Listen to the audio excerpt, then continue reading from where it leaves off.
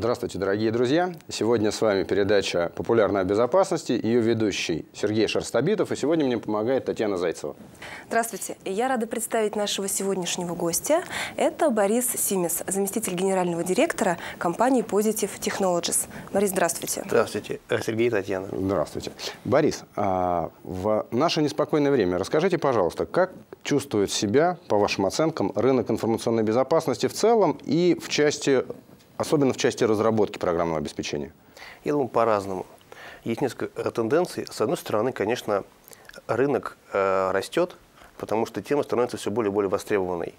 То есть, если там три года назад надо было, может быть, убеждать бизнес в том, что надо защищаться, то сейчас эта тема становится все более и более актуальной и понятна не только специалистам, но и в целом руководителям. С другой стороны, мы как вот разработчики, мы чувствуем тоже разнонаправленные тенденции. Мы компания российская, и в целом там, тренд на э, импортозамещение, он, конечно, там полезен. Ну, он полезен, полезен. А, вот вы можете ну, оценить да. качественно? Я бы сказал так. Э, что это для вас добавило?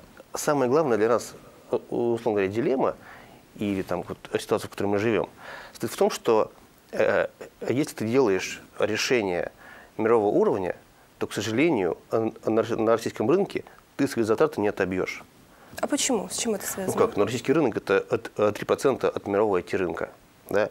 И если ты делаешь решение, э, э, которое может конкурировать там, с IBM или с Packard, да, угу. то они работают на 97% рынка, а ты на 3%. Да? Просто маленькая Поэтому, доля естественно, ты должен... Емкость идти... российского рынка, да. она немножко другая. Да, поэтому, естественно, ты, ты должен идти э, э, за рубеж. И мы это там делаем, но по сути действительно мы, мы понимаем, что наши затраты на разработку, они российским рынком только-только э, э, покрываются, ну, может быть, прям еле-еле. А поэтому для нас даже большая задача – это не только ну, как бы работа с, российским рынком, но и работа с иностранными рынками. С международным рынком? Европа, США и так далее. Это очень важно для нас. А хотя, конечно, российский рынок э, для нас является определяющим. И не только с точки зрения заработка, но и с точки зрения того, что это родной рынок, и мы в, в России понимаем основные тренды, задача заказчиков, что им нужно. То есть мы, по сути, всю компетенцию-то нашу, в общем-то, э, э, э, получаем в России. Ну, а потребности, про которые вы говорите, потребности заказчиков в России и за рубежом, они сильно отличаются или нет? Вот вы как международная они, уже компания. Да, они различаются во всех регионах. То есть не то, чтобы Россия там одна ситуация, а, сказать, а весь мир другой. Она везде разная. А заказчики в Штатах, в Европе, в Азии, на Ближнем Востоке и в России очень различные. У них свои тенденции. Где-то государство, например, вводит жесткие нормативы, где-то нет. Где-то больше тенденция к безопасности веб-приложений, ну, потому что там у них вот такая среда и злоумышленников. И вот где-то э, там, э, телеком-компании, например, с точки зрения бизнеса, да, находятся на другом уровне развития, да, например. На другом они э, на более качественном уровне? просто по-разному. Например, э, э, телекомы в Азии могут расти, и им важнее быстрее расти, чем сохранять свои э, расходы, да. А, а, а в Европе они уже более стабильны. Не, не, не, и там не, уже... не только экономическая эффективность, да. сколько развитие технологий да, да, ради развития. Да, то есть э, просто сам бизнес разный, и поэтому требования к безопасности тоже могут быть разными. Поэтому в принципе, очень разные тенденции вообще везде. Плюс еще есть э, менталитет. Ну, это, вот. простите, перебью, это такое, э, там, в некотором смысле общее, наверное, описание ситуации на международных рынках. А для вас непосредственно, как для разработчика софта, да. для компаний с российскими корнями, компании да. российской и по да. духу, и по капиталу, по всему, где вам легче работается за рубежом? Где работается, может быть, сложнее? Вот мы можем в таком ключе поговорить? Да, я бы сказал так, что, ну, по сути, мы э, компания уже международная, да, и за рубежом мы именно так воспринимаемся. И, в общем, я бы сказал так, что нам легче работается там, где нам э, получается доказать свою экспертность. Вот. Какие-то политические моменты, они на самом деле не вносят больших каких-то коррективов. Если у тебя хороший продукт, и ты можешь работать с локальной страной, то ты сможешь делать там бизнес. То с точки зрения вот моего личного такого опыта, да, азиатский бизнес довольно, считаю, непростой. А требования... ну, это может быть связано вообще в целом да, с менталитетом? Да. ну, просто вот требования азиатских э, заказчиков, они в корне отличаются от там европейских или американских. А можете привести пример? Вот в чем разница? Пожалуйста. Вот у нас есть э, проекты в Южной Корее, и достаточно успешные, там Samsung, там э, Hyundai наши заказчики. А у них такая традиция. Они покупают э, продукт, и, те пока, и тебе не, не платят первые три месяца. Ага. То есть они, ты... они про, пробуют, да. я так понимаю, да? Но эти три месяца они его тестируют, ну, так тщательно, они исследуют весь функционал, который в нем есть, даже если он им не нужен. И любой малейший баг, это считается вот, ну, невозможной ситуацией. То есть у них от, от требования качества просто высочайшие. Ни в Европе, ни в Штатах, ни в России таких требований нету. В этом даже есть какое-то такое самозабвение у них. То есть вот прям такое качество, не качество. Да. да, да. да. Вот. И в этом смысле там такие, ну, прям тяжелые проекты, я бы сказал тогда. А, даже немцы, мне кажется, гораздо более лояльны к каким-то там ошибкам софта, условно говоря, да, которые есть в любой программе. Да. Вот. А, допустим, в Англии э, такие, там очень важен, собственно, а, ну, общение с людьми. Англичанам важно, чтобы к ним пришел англичанин, и продавец был англичанин, и пресейл был англичанин, и саппор был англичанин. Но хотя, в принципе, как и французам и, немцам. В, этом смысле бизнес в Европе тяжел, что каждая страна э, э, э, требует локализации. То есть и это ну, немалые затраты получается. А для того, чтобы развивать свои продажи, рынки за рубежом, вы используете российские ресурсы или все-таки это зарубежные офисы и люди, которые сфокусированы ровно на своих рынках, на своих территориях? С точки зрения разработки у нас в принципе, почти вся разработка это в России находится. У нас офисы Москва, э, Питер, э, Новосибирск, Нижний Новгород и вот сейчас Томск. С Томском вообще была интересная ситуация. В Томске э, был офис компании F5 американской. Вот, они его прям это закрыли. интересная компания. Да. да. Они его закрыли. Прям, по сути, по политическим причинам. То есть, вот головной компании ВФ5 было приказано э, сказать, офис закрыть. При этом все люди получили оферы на переезд в Калифорнию. Даже так? Да. То есть, закрывая российские центры разработки, наши там, коллеги, соотечественники, партнеры, которые, да. партнеры, да, которые работают на американские компании. Вынуждены уезжать, получается. Ну, ну везде... имеют отличную да. возможность уехать, ну, если, конечно, они ждут если этой они возможности. Если да, в данном интересно. случае, да, они все получили офер, и, в общем-то, мы когда об этом узнали, мы действовали довольно оперативно. Не теряя ни минуты? Да, да, мы Ваш... позвонили директору Первым бортом? в Томске, да, а потом мы, э, так сказать, сделали такой э, трип, чтобы люди из Томска приехали сюда с нами, познакомились, сделали им предложение. Но это, это прям целый, целый борт? Вы перевозили? Нет, не всех. Э, не всех. Там ключевых людей, кто... Самых-самых? Нет, нет, ну, сказать, там не сами решили, кто должен поехать, а потом, сказать, остальным там рассказать, что такое позитив. Вот. Я думаю, что, во-первых, мы дали людям альтернативу, потому что, ну, по сути, переезжать не все хотели. И там, если там, ты одинокий молодой человек, может быть, это, сказать, тебе и романтично там съездить, но если у тебя семья, то по сути это непростая история. Больше того, в позитиве работают люди, которые там жили в Штатах там, лет 10, а потом вернулись в Россию. Потому что... Чем удалось их замотивировать тогда? А, ну, несколько моментов. Во-первых, действительно мы, мы в позитиве можем дать людям возможность работать в компании, которая работает на мировых рынках, да, которая делает конкретные продукты. Людям очень важно видеть результат, результат своего труда. Угу. Второй момент, ну, конечно, с точки зрения там, климата, Калифорния и Томск – при всей моей любви к Западной Сибири, она все-таки несравнима. Но в общем, некая романтика э, работы в Штатах, она... Возможности купаться немножко меньше. Да. В теплых Романтика работы в Штатах, она сейчас не так очевидна. Тут, тут там, там большие затраты на жилье, на страховки. Особенно если у тебя семья. Это все, то есть, очень непросто.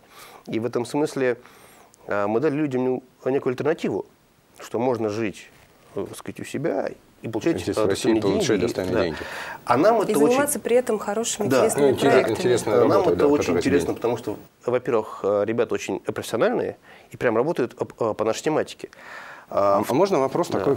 Э, вот у вас сейчас появилась команда людей, которые работали на крупную американскую компанию. Да. С точки зрения да. культуры разработки, они как-то отличаются от нас с вами, ну, от, от, от традиционных российских разработчиков, быть может быть, от тех команд, которые сейчас работают с вами, я имею в виду э, тех, кто занимается разработкой ваших продуктов? Ну, ну прежде всего, это высокопрофессиональные люди. Вот. А второй момент, вообще любая команда, которая вливается, она приносит свой какой-то дух, свой опыт, и это здорово.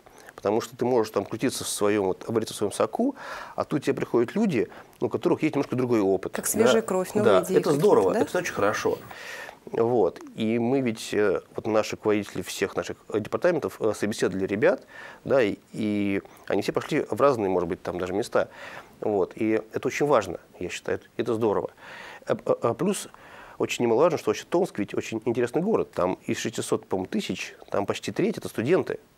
То есть это город такого вот Но студенческого управления. Да. Так это же нов, новые, да. новые кадры для да. вас. И, и наши новые сотрудники, они не только сотрудники теперь там позитива, но они кто-то является там преподавателем, аспирантом. То есть они, собственно, активно участвуют в студенческом движении. И для нас это э, тоже интересно. Это же совершенно другая история, чем просто сотрудники. И мы поговорили о том, что офис есть в Томске и в Новосибирске. И все-таки э, ни одного офиса разработки, центра разработки за пределами Российской Федерации у вас сейчас ну, нет. Будете ли вы да. смотреть в эту сторону? Будем. А, больше того, у нас же есть так, эксперты единичные, которые, например, находятся в Италии, которые отвечают за определенные там, кусочки знаний, востребованных на данной территории. Потому что даже если взять там ну, любые темы, там, безопасность СУДП, СКАДА, Э, в Европе есть свои производители, там локальные, да, и надо уметь работать Их с этими больше, продуктами. чем в России, да. Да, вот, то есть, э, но в целом, конечно, нам, нам важно иметь э, зарубежные части нашего R&D, потому что экспертиза за рубежом тоже другая, и чем больше мы ее впитаем, тем сильнее мы будем. Да? То есть, если мы сделали там проект в Имплукоме, ну, например, а потом на базе этого опыта сделали проект там, не знаю, в Дубаях, потом на базе этого опыта сделать там проект где-нибудь в Штатах, а потом вернулись, там, сделали проект где-нибудь там в Ростелекоме, то всем от этого лучше. То есть мы обогащаемся. И, Получается и, интересное комплексное решение. Ну, и, да, и, и, и, а, то самое главное – опыт. Вот. Поэтому, да, мы идем в этом направлении. Мы в Западной Европе будем э, брать специалистов не только э, э, по продажам или по пресейлу, но и, собственно, э, исследователей и разработчиков. Борис, очень интересный опыт, э, синергия международных разработчиков. Но о том, какое добавленное качество эта конструкция несет на российский рынок, мы с вами поговорим после небольшой рекламы. Спасибо большое, оставайтесь с нами.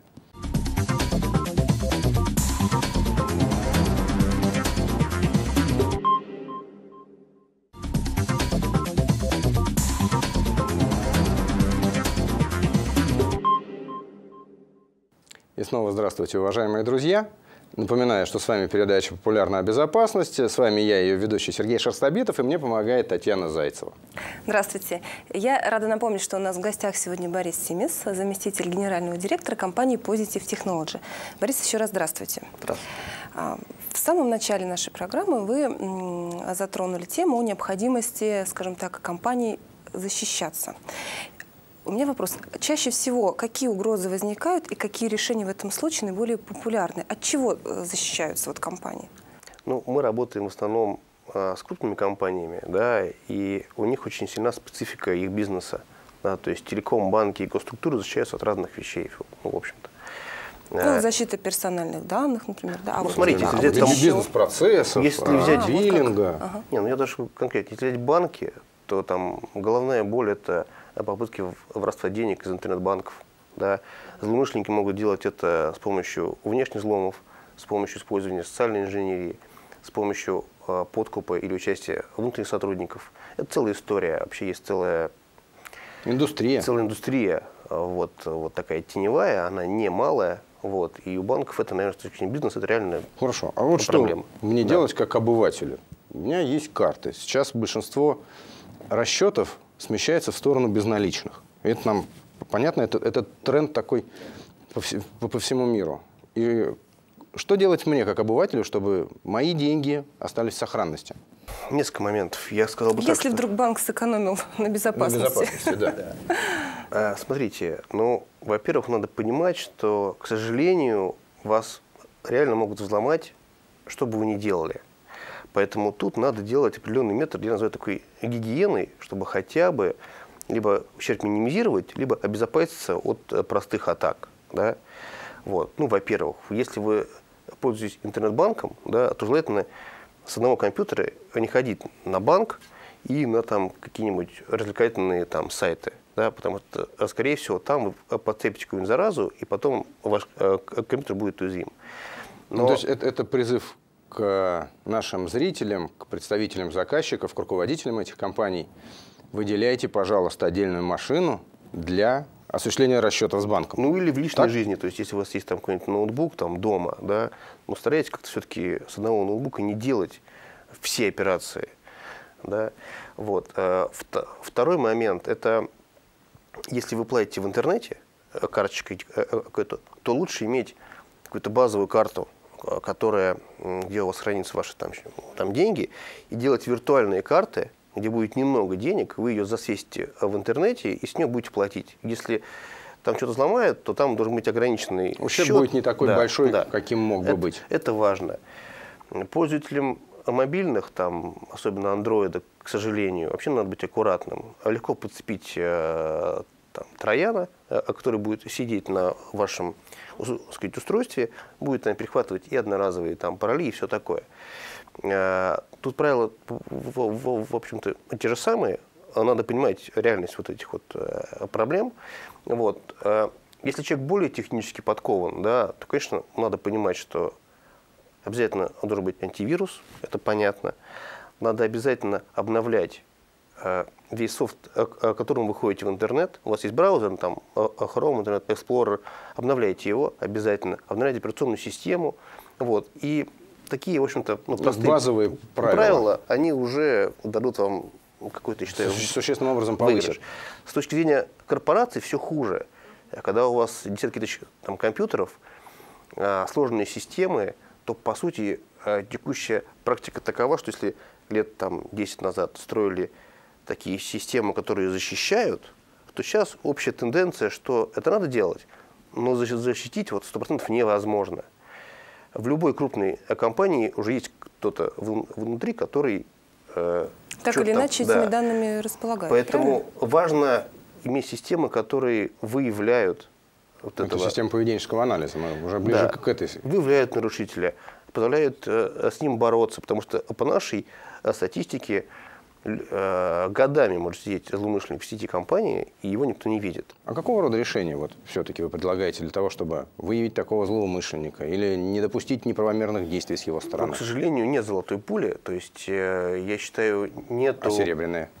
Да. Нету, вот если по-честному к этому вопросу подойти, нету решения, которое ты поставил, и он прям ловит хакера. Это прям такая задача. Вот. Мы сейчас видим это с совокупностью решений и сервисов.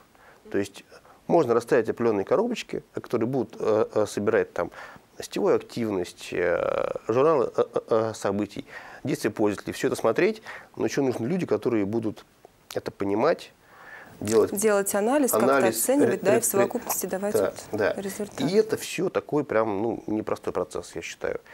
Э, и в этом, но с другой стороны, для индустрии это некий челлендж, это собственный вызов. Э, научиться это делать, это... Кто первым это сделает? Да, это интересно, и это, это, это проблема, она и в России, и за рубежом. Здесь много инсинуаций, там, да, то есть многие говорят, да вот, наша коробочка всех поймает. Конечно, не поймает. Но хорошие решения могут упростить эту задачу, я бы сказал так. Ну, вы говорите про некоторые комплементарные решения сейчас, которые ваша компания, в частности, выводит на рынок. А какие из этих технологий, не знаю, там, Web Application Firewall, э, может быть, просто межсетевые экраны, вот по вашим ощущениям, наиболее востребованы или дают максимальный результат при использовании? Хороший вопрос. Э, я думаю, что, как и в жизни, там 20% усилий может дать 80% результата. И мое мнение, что для больших компаний э, самое главное это, в общем-то, не приобретение решений, а скорее наведение порядка. Ну, то есть, конечно, я могу сказать, что сейчас, вот по моему опыту, ну, реально взламывают веб-сайты, и это прям тенденция. Повсеместно. То есть э, э, злоумышленнику э, хочется сломать какой-нибудь новостной сайт, да, а потом через него заражать всех посетителей. да, или зажить сайт, а через него прыгнуть внутрь компании. И, конечно, решения класса Web Application for All, они прям востребованы, они нужны. Вот. Но с точки зрения вообще защиты от компании, мой опыт такой, что а, хотя бы наведение элементарного порядка на внешнем периметре, просто что у тебя в интернет, а, насколько оно уязвимо, а, что это за сервисы, оно уже дает прям серьезный эффект, э, хороший. Но мы говорим сейчас о некотором уровне зрелости рынка в целом, или IT-индустрии, или тех администраторов, которые работают системами конкретных пользователей. Понятно, что у крупных организаций есть больше возможностей привлекать дорогих администраторов, которые знают, понимают системы, разбираются в них. А что делать компаниям не очень крупным? Среднему бизнесу, который есть в стране, у которого есть вычислительные ресурсы, сервера. Мы не, не будем называть их цодами, потому что все-таки это немножко другая история. Но что делать среднему бизнесу? Уровень квалификации обслуживающего персонала, в котором не такой высокий. Ну, я считаю, что среднему бизнесу в чем-то и проще. Э, когда у тебя не тысячи жилов, а сотни, да, когда, в общем-то, у тебя твоя инфраструктура... Ну, Ты не являешься мишенью номер один? А? Ты не являешься мишенью номер один? Нет, нет, у тебя э, проще инфраструктура, она, может быть, не такая более статично, да, там, ты не вводишь каждый день там ERP-порталы в интернет, не делаешь какие-нибудь там порталы госзакупок, там, меняешь это, это целый же, вот, то, по сути, им важно, есть тоже некая гигиена для, для, для компании, я считаю.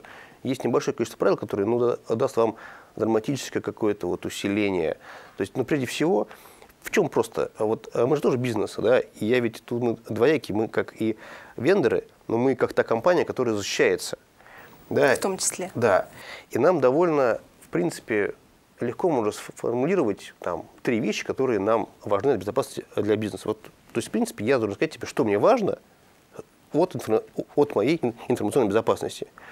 И когда я это скажу себе, я должен поставить четкие цели уже дальше. Потому что в большой компании сказать там, чего для там, большой нефтяной компании с точки зрения безопасности важно, это, это непросто. А, а, а, а сказать, сказать, а мелкому бизнесу это проще, и проще потом навести порядок вот в этой истории всей. А что вы конкретно, как один из лидеров рынка, предпринимаете для того, чтобы тот самый уровень зрелости по возможности поднимать? Слушайте, планку? мы очень любим это делать. Так. Вот. Миссионеры? Да. Слушайте, ну... Евангелисты. Вообще мы считаем, что что это очень важная задача, э, и мы делаем все для этого. Ну, во-первых, мы пытаемся пропагандировать тему реальной безопасности, а насколько, э, настолько, насколько это вообще возможно. Да? В чем тут проблема? Во-первых, очень многие э, люди, они не видели мира хакеров и не понимают, как оно живет. Они, угу, да. они понимают, боятся, пугаются. Да, они понимаете, трудно защититься. Чтобы эту вот проблему исправить, мы специально делаем наше ежегодное мероприятие, он называется Positive Hack Days, там собирается там по 3000 человек, где мы как бы собираем ну вот, талантливую молодежь, обладающую навыками, условно говоря, такого белого хакера. Да? Это студенты, это эксперты. И они в реальной жизни прям вот, прям вот, вот, вот, вот сидят и взламывают там мобильные станции, банкоматы, да, там, ж, там, не знаю, промышленные системы по сути, люди, отвечающие за уже защиту, приходят и видят основные тенденции, что могут делать злоумышленники. Вот. Это Насколько так... это можно сделать быстро? Да, да. Это мероприятие для нас абсолютно убыточное, но мы считаем, что это наш вклад в некое такое вот информирование общества. Вот. Это одна история. Вторая история. Мы очень плотно работаем с университетами. У нас есть э, программа э, э, Positive Education, где мы бесплатно обучаем преподавателей преподавать вот эту вот э, тему, связанную с реальной защищенностью. Мы, естественно, мы, мы даем и наши решения, у нас есть э, методика, чтобы они потом обучали э, студентов. Больше, по-моему, 40 вузов в России э, включены в, в эту программу. Включены. программу. Плюс э, мы делаем бесплатные вебинары на какие-то такие важные ключевые темы. Борис, простите, пожалуйста, да. а количество вузов 40, оно является ограниченным? Или, может нет, быть, кому-то будет интересно, Конечно. и он сможет присоединиться? Конечно, у нас на сайте есть информация, у нас все время присоединяются новые вузы, и мы этому очень рады. Борис, а к разговору про Positive Hack Days. Да. Это же международное мероприятие? Да. Мы специально делаем так, чтобы туда приезжали и международные спикеры, и международные слушатели потому что очень важно, то есть в рамках одной страны ты как бы сразу не победишь. Важно понимать, как действуют твои соседи. И мы стараемся приглашать лучших спикеров, профессионалов в своей области, чтобы было какое-то обсуждение, диалог, это очень важно. Плюс, собственно, команды вот этих вот, условно говоря, белых хакеров тоже приезжают со всего мира. Там Штаты, Европа, Китай, Япония, Северная Африка. А, Борис, спасибо большое. А, вы такую интересную работу делаете, объединяя как хакеров, вытаскивая их с темной стороны Луны на белую, а, объединяя разработчиков и стремясь сохранить здесь научный потенциал. Уважаемые друзья, сегодня с вами была передача «Популярная безопасности». С нами в гостях был Борис Симис, заместитель генерального директора компании Positive Technologies. Программу вели э, ее ведущий Сергей Шерстобитов и Татьяна Зайцева. Спасибо большое. Всего доброго. До свидания.